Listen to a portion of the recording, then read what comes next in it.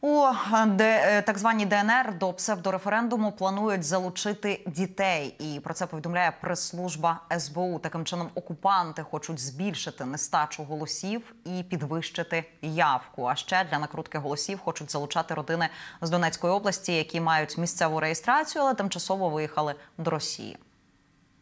Згідно з отриманими матеріалами, керівники окупаційної адміністрації планують задіяти у псевдоголосуванні місцевих жителів віком від 13 до 17 років. За рахунок малолітніх виборців окупанти намагаються штучно збільшити катастрофічну нестачу голосів для легітимізації фейкового плебісциту.